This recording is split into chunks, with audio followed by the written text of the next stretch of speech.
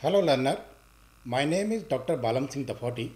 I am working as Assistant Professor in Department of Computer Science NIT at Uttarakhand Open University Haldwani. So learner after going through this video lecture you will able to learn about the basic concept of JSP that is Java Server Pages about the advantages of JSP over HTML and you will learn about the JSP implicit objects. So basically is, stands for Java Server Pages. It is a Java based technology that is used to develop dynamic website, right? So this is the main use of JSP. If you want to create dynamic website, it is better to use JSP or you can use servlet pages also.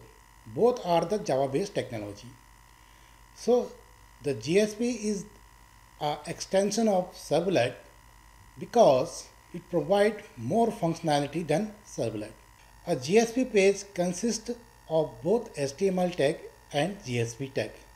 So this is the main difference between JSP and servlet. JSP pages are easier to maintain than servlet because we can separate designing and development but in servlet we cannot do that. It provides more additional features such as expressions language and custom tag etc. So basically Java is used for business logic that is what the project you want to develop, what the code you should contain, right? And Java can connect to the databases. Now JSP is used for multi-purpose, both for UI as well as middle layer. Completely end-to-end. See, if you just have JSP, you can develop end-to-end project. Where front front end you can develop middle layer you can develop using JDBC, you can uh, connect to the databases and get everything. So if you uh, know JSP, you can now you you can uh, do complete project, right? But right now in the industry, JSP is used for UI user interface. So let's see why JSP is preferred over the servlet. JSP provide an easier way to code dynamic web pages so when we compare to servlet, the first thing is that it is easier to code. JSP does not require additional file like Java class and web.xml. So if you want to execute JSP file, it does not require any additional file like Java class file and web.xml is also not required. Where in case of servlet, web.xml is required. So any changes in the JSP code is handled by web container that is application server like Tomcat and does not require recompilation.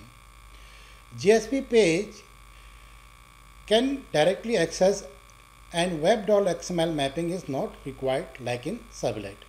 So using JSP one can easily separate presentation and business logic. As a web designer can design and update JSP page, pages, creating the presentation layer and Java developer can write server-side complex and computational code without concerning the web designing. So this is the main use of JSP. And both the layers can easily interact over HTTP request.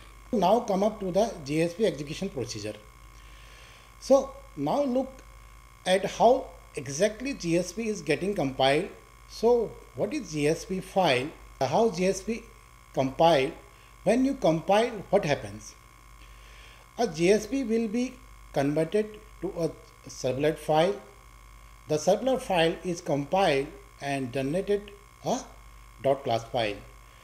This dot class file is loaded into memory and executed by JVM as usual. Now I will develop a, a file called hello.jsp.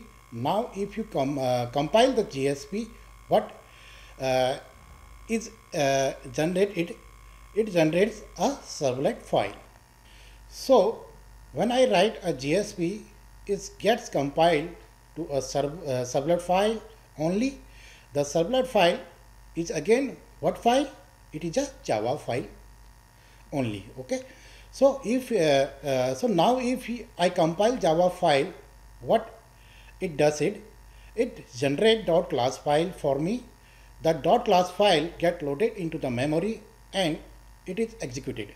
Again I will explain if you compile JSP file using JSP compiler, it get converted into a servlet file. Okay. So the servlet file is a Java file. The Java file has to be compiled and finally gets into dot class file. So now if you look in detail the execution procedure that is what I said the JSP file using JSP translator it converts into the servlet file that is dot java file okay? The java file is compiled and it generates dot class file. The dot class file is loaded into the memory and executed by JRE okay? And that is how JSP get executed right? So advantages of JSP over HTML as in servlet user need not write code for HTML and Java separately you can combine both of them servlet is only uh, for business logic right so what the project has to be done and has to be specified in servlet. As in JSP can be used for front end also. That is user interface or uh, uh, as it is has uh, as uh, it has HTML file and the business logic uh, as it has Java file. So JSP is a combination of both HTML and Java. So if you look at completely writing the servlet is little complex when compared to JSP. So writing JSP is very very easily and extremely easy. Next uh, advantage is uh, dynamic uh, compilation in JSP. In servlet, what happen? I write a servlet and compile it and run it. If you want uh, to modify, let's say I have modified uh, the server file again I have to compile it and bring on the Apache Tomcat and run the program okay because the dot class file has to be loaded uh, on the server uh, server dot uh, on the server JSP uh, not uh, JSP is not like that if you write once it uh, gets loaded and executed if you modify the code not need to bring uh, down on Apache Tomcat server, just refresh the browser, the changes will uh, reflect it. So, uh, uh JSP is used for uh, three tier architecture and two tier architecture. So that three tier architecture means that the front end, middle layer and back end layer. What uh, do you mean? what do you mean by front end?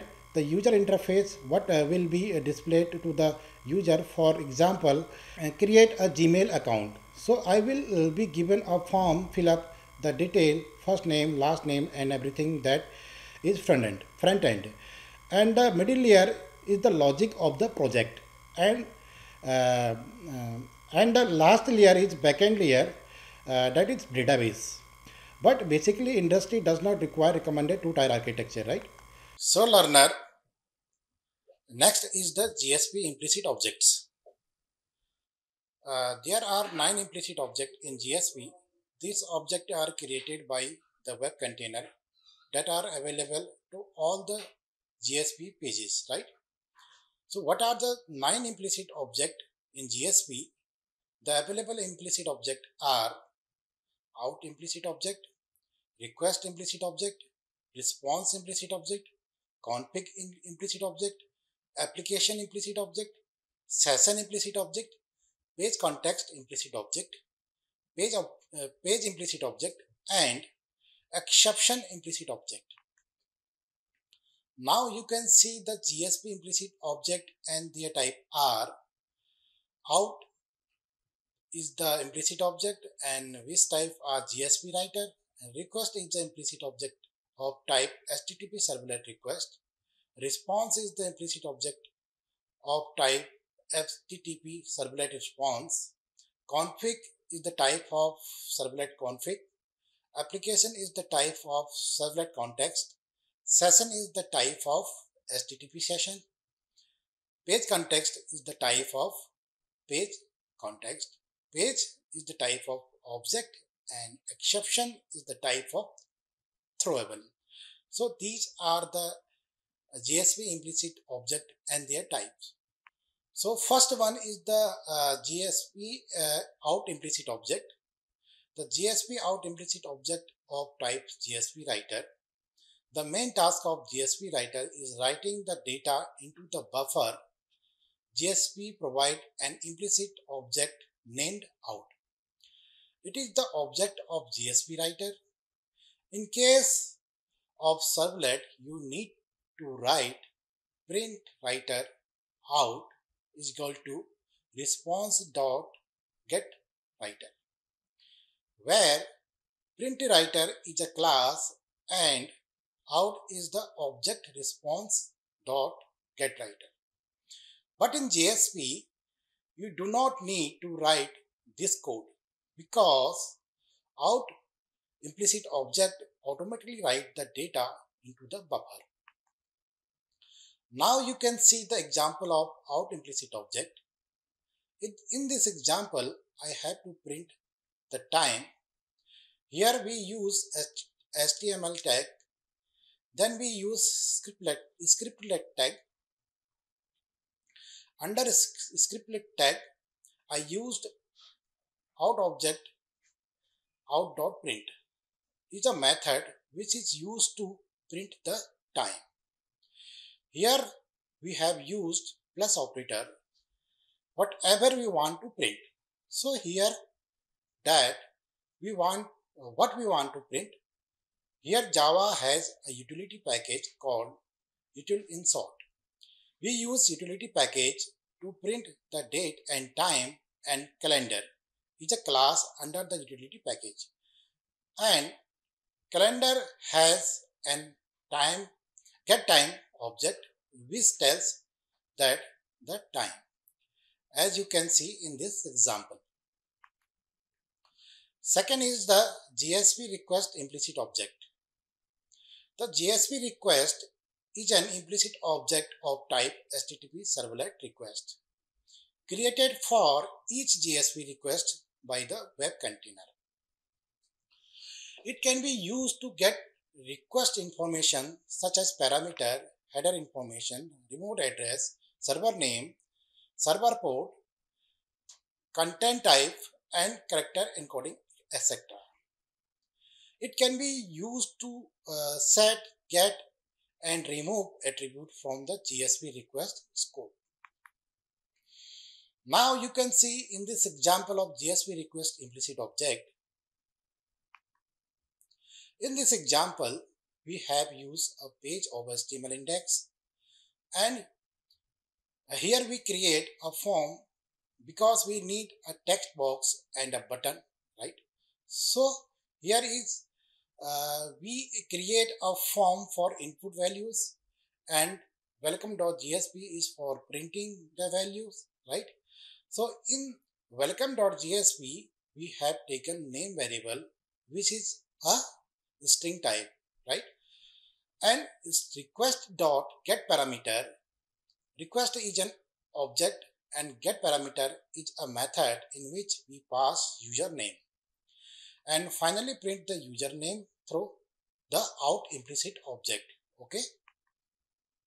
Now, third is the JSP response implicit object.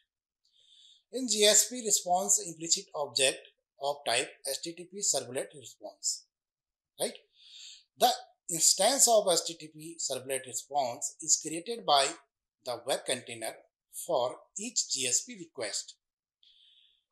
It can be used to add or manipulate response such as redirect response to another resources, send error, etc.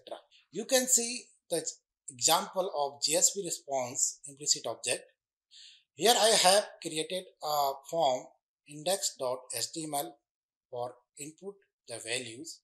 Now I want to give a response to Google and here I have used response implicit object and we want to send a request to Google using dot send request method. Number four is JSP config implicit object. In JSP con, uh, config implicit object of type servlet config, this object can be used to get initialization parameter for a particular JSP page, right? The config object is created by the web container for each JSP page. Generally, it is used to initialization parameter from web.xml file. You can see the example of config implicit object.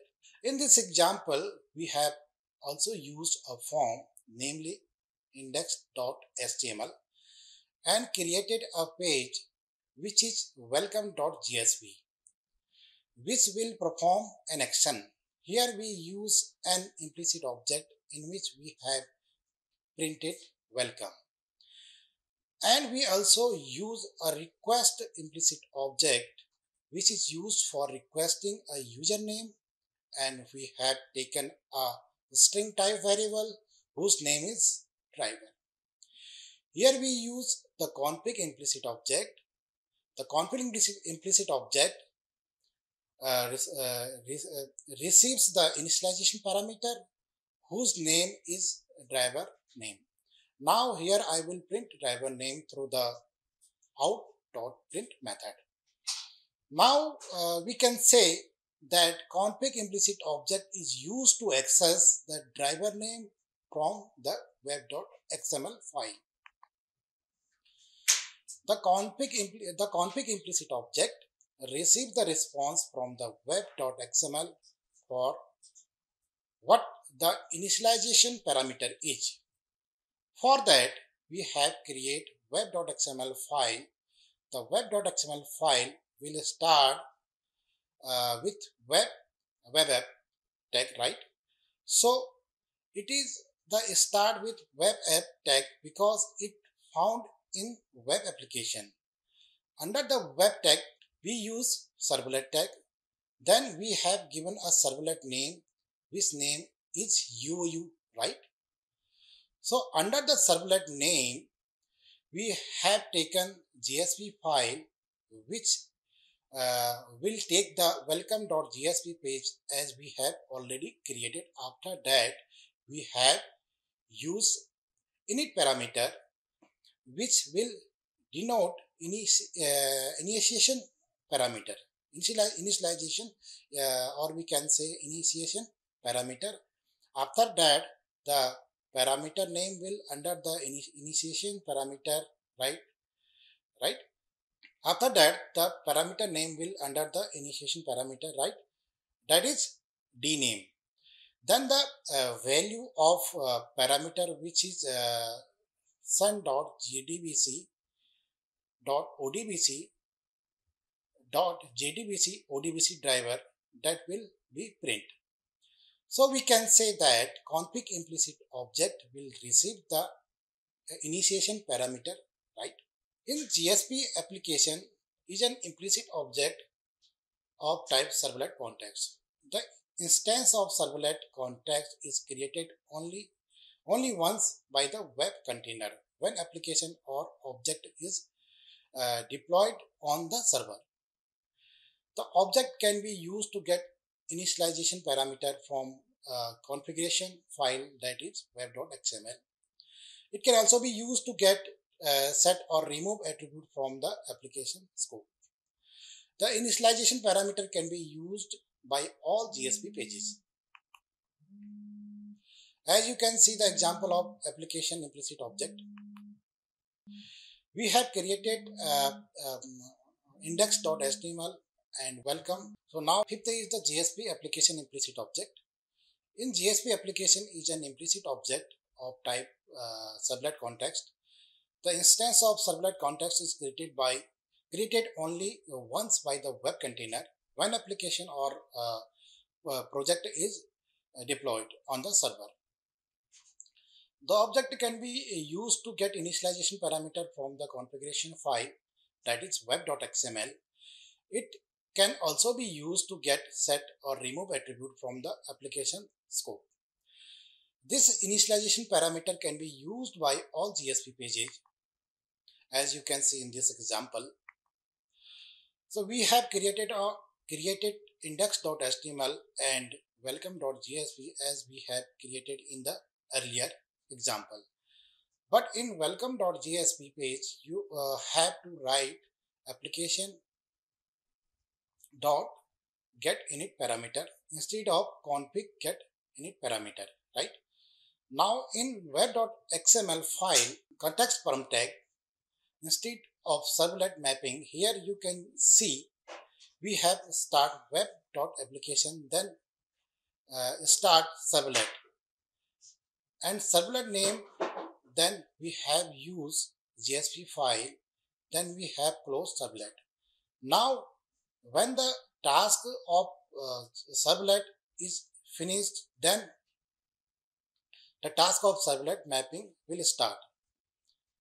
Then the name of the servlet is asked then then URL pattern then close the tag of servlet mapping. Now uh, we have uh, used context from not init, uh, init, init param. So what is the difference in uh, config and application in config object? We use init parameter and in application object we use context parameter.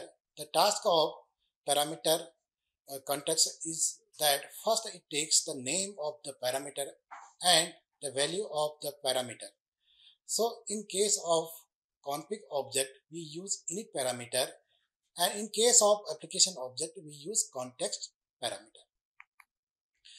Now 6 is the session implicit object. In JSP, session implicit object is the type of HTTP session. The Java developer can use this object to set, get or remove attribute or to get session information. As you can see in this example of session implicit object, here we use two JSP file that is second.jsp and welcome.jsp file. Here we have taken the name type variable which uh, is request to the username then we use object for print right so uh, now here we uh, now here the session implicit object set the value of the attribute. The implicit object can set get remove the value of the attribute. So uh, in this example the session implicit object set the value of the attribute. Here now can also use an anchor tag for referencing the second.jsp right? So now in the second.jsp page content variable, which is a string type, which is create uh, which is create a session for receiving the value of the value of the attribute of the user, then print the name. So basically here we provide the connectivity through the session implicit object with the use of anchor tag. Now seventh is the page context implicit object. In the JSP, page context is an implicit object of type uh, page context class. The page context is an object to be used to set, get, remove attribute from one of the following scopes. There are uh, four scopes in JSP, page, request, session and application. Using these scopes, we can uh, set get remove attribute. In JSP pages, in JSP page scope is default scope. Page, request, session, application. So there are four scopes in JSP, page, request, session and application. Using these scopes, we can set, get, remove attribute in JSP page scope is the default scope.